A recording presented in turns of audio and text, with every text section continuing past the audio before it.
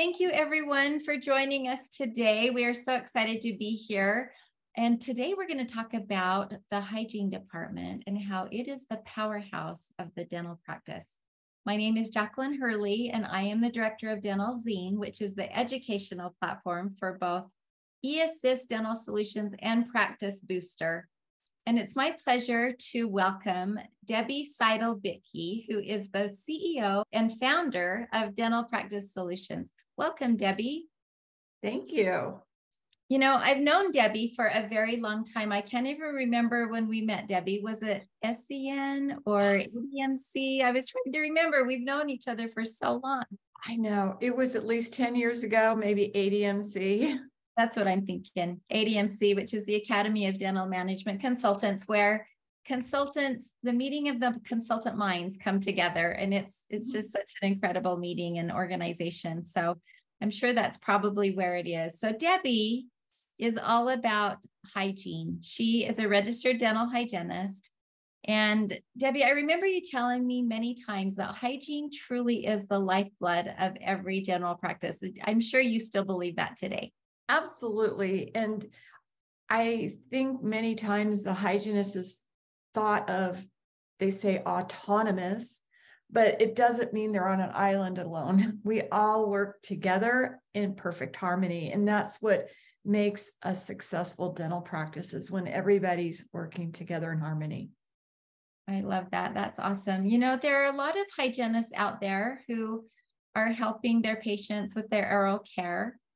Um, but, and I know that you're very passionate about hygiene, but you took it one step further and you decided to jump into being a hygiene consultant. Can you tell us a little bit about that?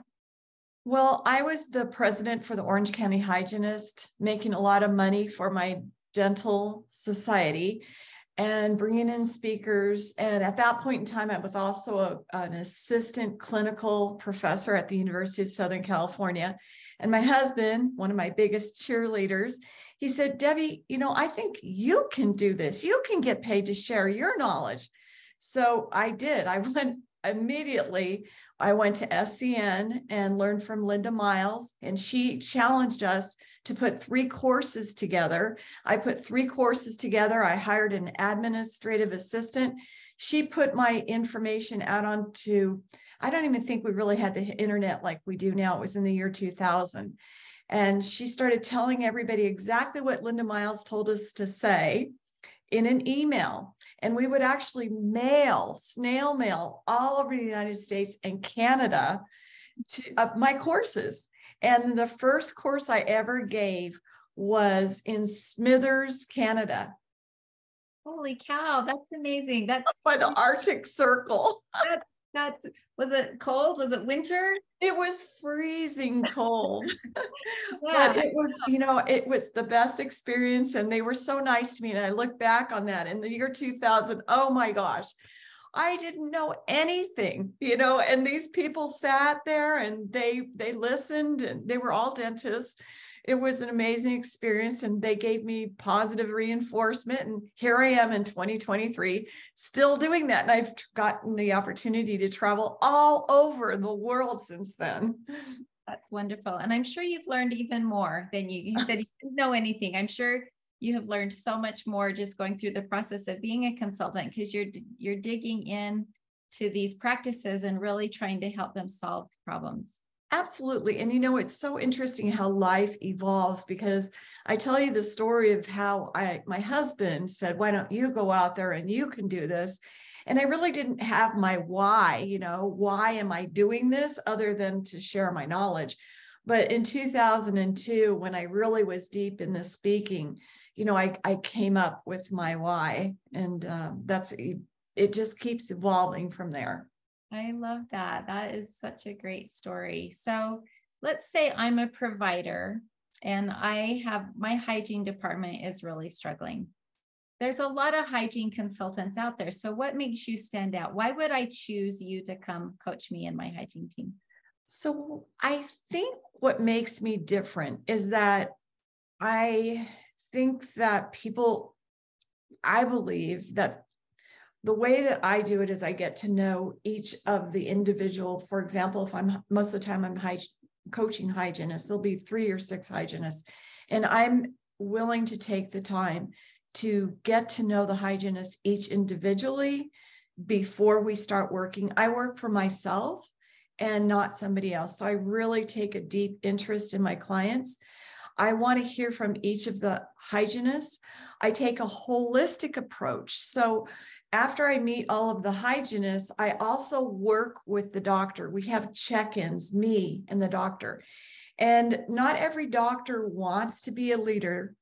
They just want to, a lot of them want to come to the office, drill and fill.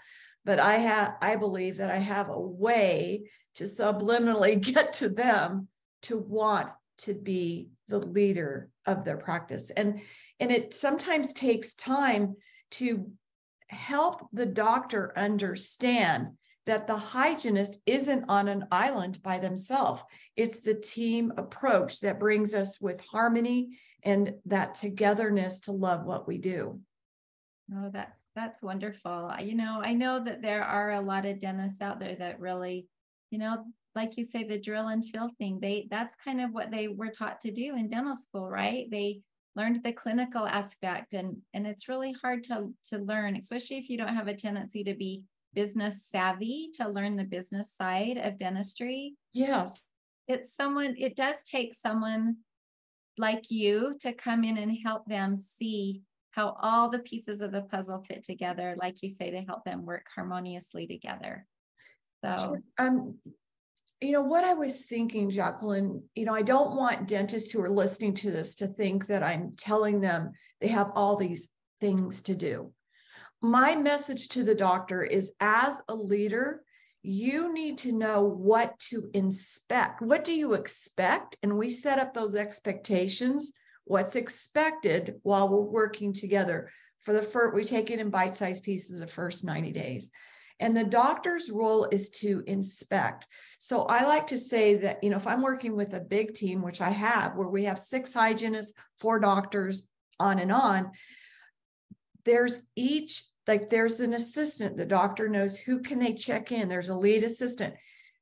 The doctor can ask that lead assistant at any point in time a question about one of their systems in the height in the assistance departments and get an answer there's a hygiene department leader, there's a front office leader, and doctor's job is to inspect.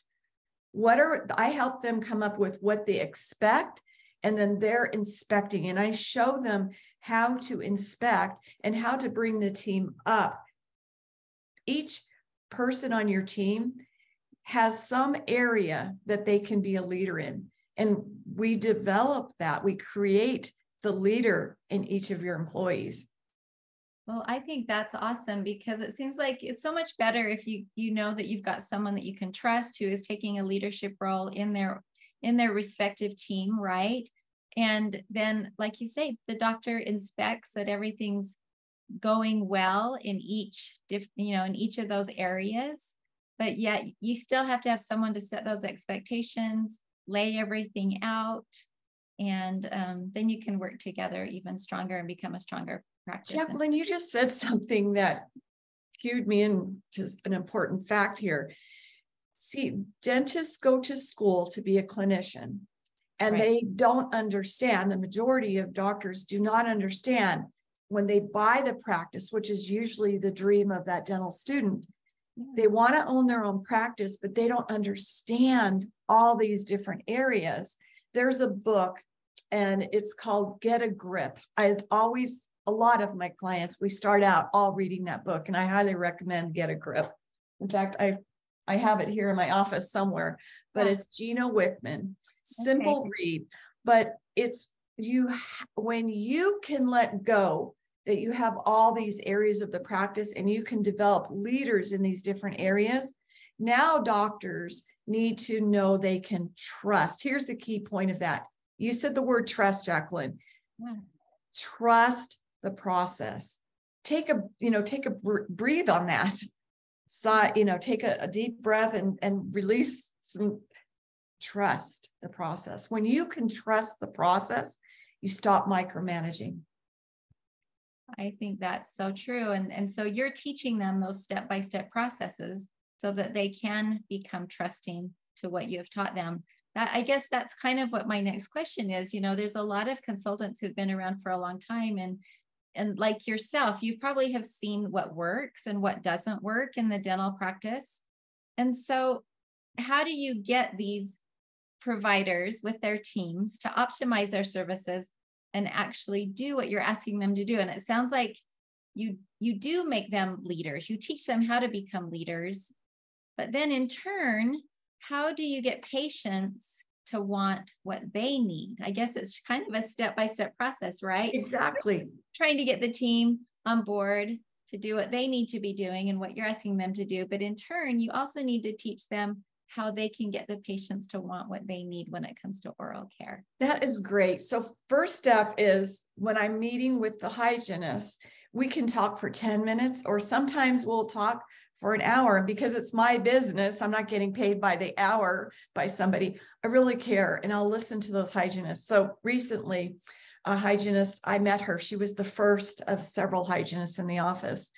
And she flat out told me, We're going to have laser. I'm not going to use laser. I think it's all a moneymaker.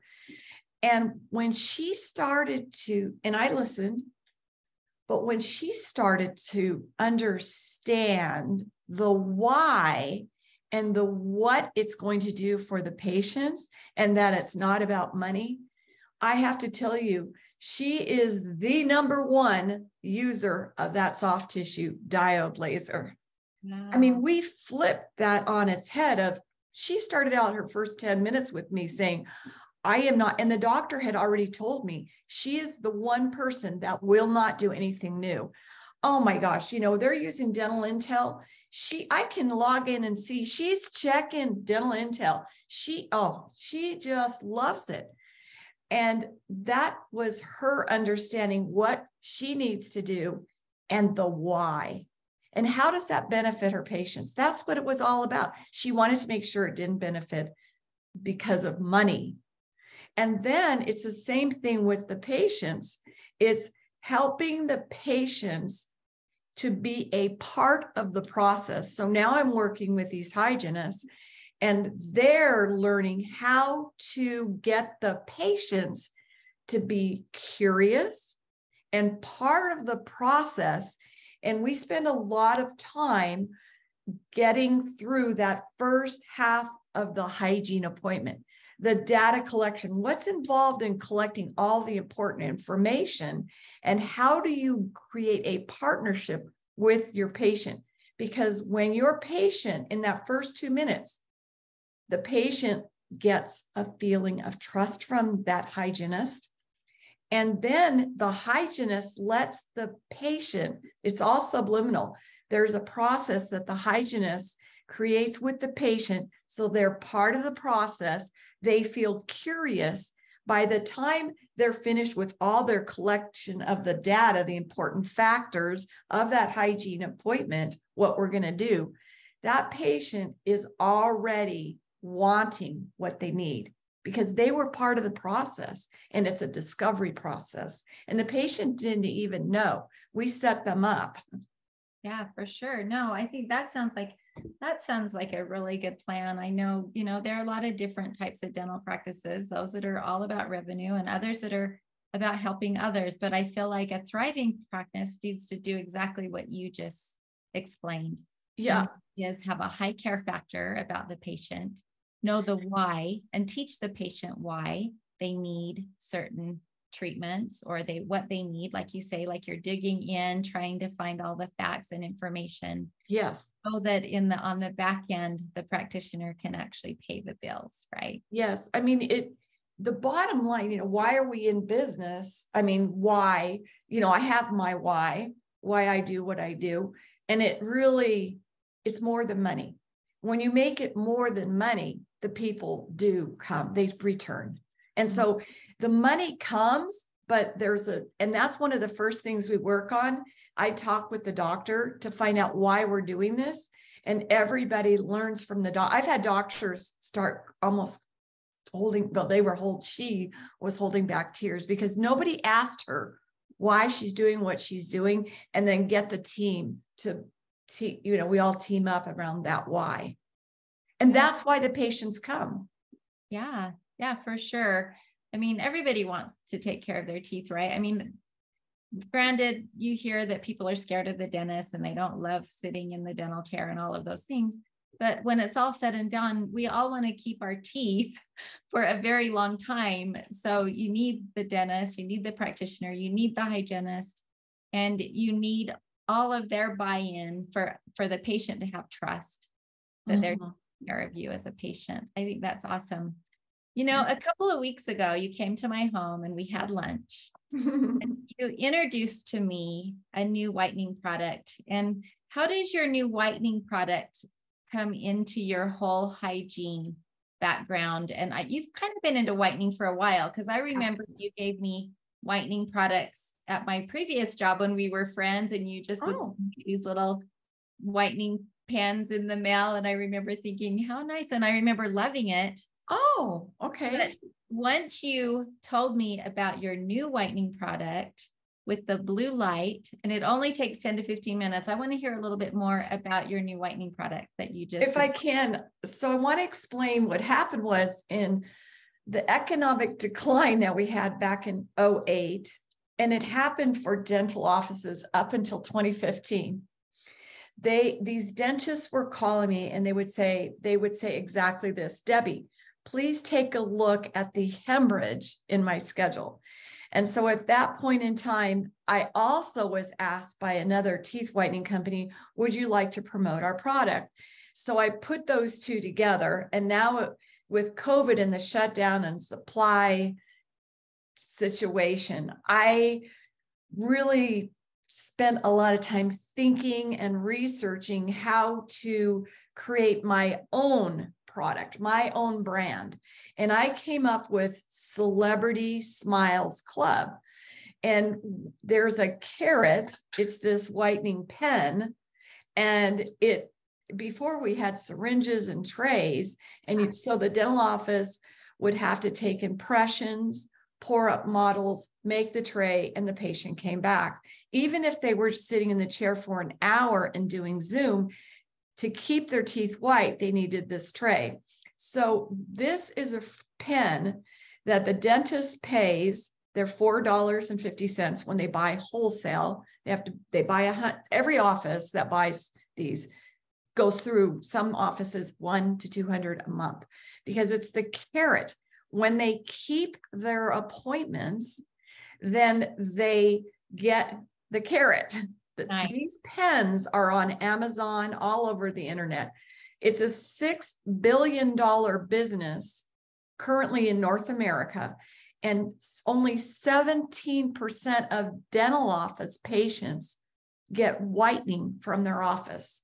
Wow. So if you're a doctor or an office manager or even a hygienist listen to this, I mean, this becomes a huge profit center because number one, patients come in because they know they're getting this for free. They're going to, they are spending 20 to $25 for a pen. And you give this to them for, you say, thank, you know, this is our thank you for keeping your appointment. They sign up for your club membership. Now, I have offices that charge $99 to be in the club. Every year they join the club and they get this free kit. It's a whole kit with a shade guide, a pen, and here's the light. So there's no more impressions. They leave with the light. Oh, wow. Absolutely. And I've actually upgraded it recently because my patients, as you mentioned, I'm still a clinician. Every once in a while, I do work as a hygienist. And patients who have gum disease usually come in saying, I want whiter teeth. It's the funniest thing. But they we give them this, and carbamide peroxide is the main ingredient. Additionally, I've added potassium nitrate so that never have I had a patient have tooth sensitivity because potassium nitrate covers the dentinal tubules and this blue light whitens. But then after scaling and root planing, the main purpose of giving this, they're going to whiten their teeth when they have, and this helps heal the red light. And you can see, I have the on my website, which I know you'll give everybody later, Dental Practice Solutions. You go to the training vault you can see everything. There's a learning center, and in that learning center are all the tools to enroll your patients, you know, research on why the red LED light helps to heal, soothe, yes. comfort. And my patients started telling me they were wearing the red and blue light, but the red LED light is what I've upgraded it to because they my patients told me I've never had gum inflammation so I can't speak from experience but they said the red light immediately comfort and soothe after scaling or root planing. Wow, I love that. Well, red light has become very popular in the cosmetic world right now. It's, and and even just for aches and pains and just to help with you know tightening your skin there's a lot of red light um, information out there so i think that's so cool that you've added that into your little mouth your little mouth lightening um, tool because I feel like that, like you say, that's you're finding other benefits to bringing in the red light. Well, you sent me a kit and I tried yes. it.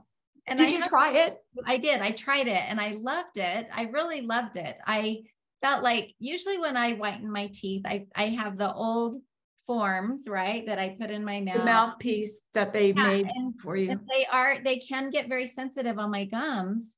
Yes where this didn't bother my gums at all, it was only a 15 minute process. I just did the blue light for 15 minutes.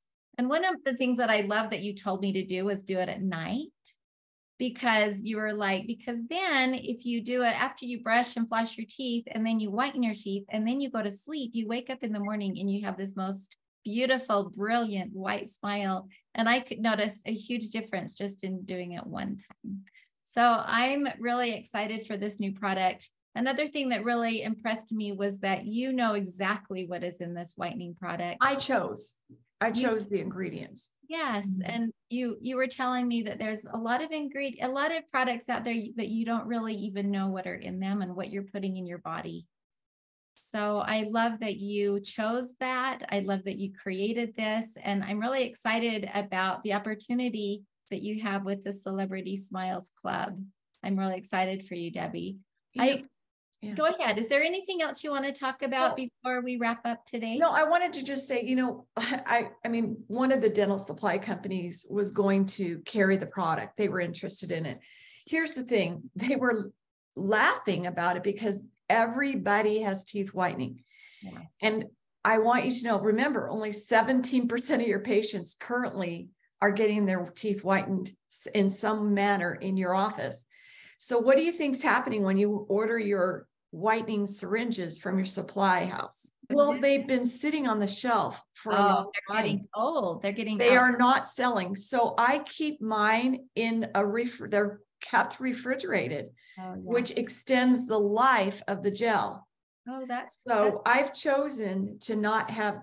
I mean, there are some ingredients you can we have an MSDS sheet that we give you. If you're interested in knowing what's in it, I can give that to you and you'll see there are some ingredients in there that I asked, you know, why do we even have to have this in there? And a lot of it's binders, but xylitol is in there, menthol is in there, um, mainly carbamide peroxide, and then the potassium nitrate, 6%. So I tried to keep it in that consistency with just some um, carbon carbomers that keep it binded together. But think about that when you're ordering. How long has your whitening gel been sitting on a shelf somewhere?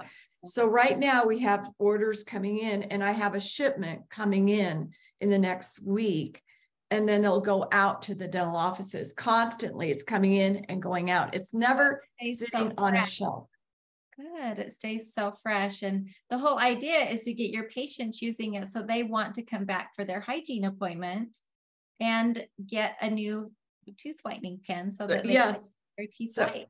It, I mean, offices do have whitening they offer, but they're not selling it. So it should, this system, which you can go to the website and see all, I don't, I, you can see that there's an implementation guide. You can see, I show you you you're given marketing materials everything so it's constant every day every day you're going your patients are getting whitening they are going somewhere else and getting it they really are it's a six tell me the website where you would go for the product itself so on dentalpracticesolutions.com when you go to the on the top bar is different, you know, our blog, and then we have a training vault.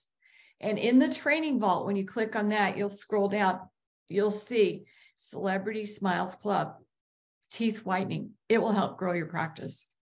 Perfect. I love it. If they were to Google Celebrity Smiles Club, do you think they would get to you? They will, but they'll get, we also have e-commerce. That's the e-commerce store. Oh, and, got it. and I also have a different name for e-commerce. So I want the dentist to know that their patients can only come to them for the Celebrity Smiles brand. So Celebrity White is what we sell on e-commerce. And oh, by the way, you'll see Miss Colorado, the pageant is, I think it's April 8th in Colorado, Greeley, okay. Colorado, and they're using our product as well as Miss Arizona and a lot of the ladies from Miss USA. Nice. That's that's wonderful. It sounds like your your business has taken off. Your whitening project project or product has taken off. And um, so, how's the best way to get a hold of you? Just go to Debbie at dentalpracticesolutions.com. That's my email, Debbie okay. at, and then my business dental practice solutions, S at the end.com. And then our toll free number is 888 816 1511. I love it. Well, Debbie, I know that you can help these practices. You can help them bring patients back. You can help patients have a wider, brighter smile. And, and most of all, you can help the patients be, feel trust to their hygiene department and their practitioner because you can see that they're all working together in care of their own or their oral health, right? Absolutely. Yes. Well, it has been a treat to chat with you today. I'd love to keep this kind of short because we love this um, podcast to only be long enough for a little commute into the dental office. So thank you for joining us, and we're excited to be here. And we'll um, we'll catch you next time. Thanks. Thanks, Debbie. Thanks.